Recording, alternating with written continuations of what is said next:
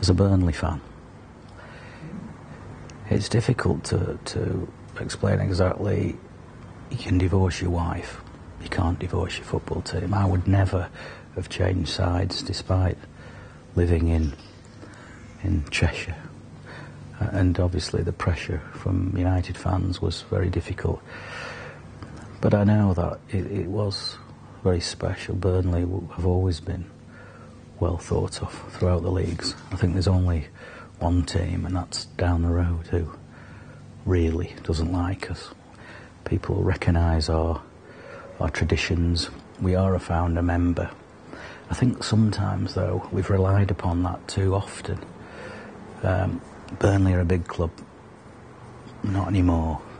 We've had to change and evolve again, and we'll probably never be a big club, but you know, we'll always be a club that is warm to the hearts of of many.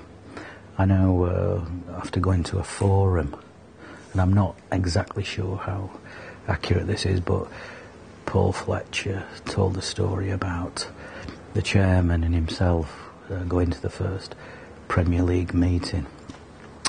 And at, at some stage during that meeting, they uh, they were they were introducing the newcomers to the Premier League, and of course, so it was Wolverhampton Wanderers.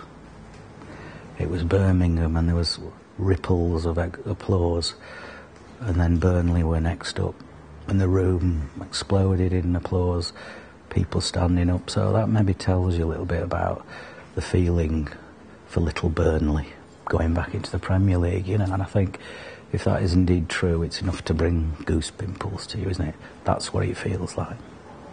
There's there's a change in demeanour as a fan who suddenly supports a club who's in the Premiership, particularly one who's who's been out of the big time for such a long time. Suddenly, you can stand with those who looked down at you in the past and speak with great credibility. You're part of a huge family now. In the time that I spent in South Lancashire, Little Burnley was never anyone's priority as a conversation. And what would he know? Well, I'll tell you what now. Suddenly, you you seem to be, you seem to have you know, a, a, badge as big as any other Premiership club. And my status, it is, in some cases, bragging rights. I'm back in the Prem, we're back in the. But also, you feel as though you can join an elite bunch and to talk about the thing you love without having any disability, i.e., you've been relegated, you've been promoted, you've yo-yoed, you've not got a big ground, you've not. The fact that you're in the Premiership means that nobody can claim you are not worthy of that right. That's my strong belief. We're back, we deserve to be back. And whilst I know that there'll be many clubs uh, dying to get back in, it's, uh, I'm just glad we're there, and I hope that we, we stay there. It's absolutely a dream come true for me. I won't be I won't be a supporter of anyone. I have to say I'm not a bigot. I am a fan first and foremost.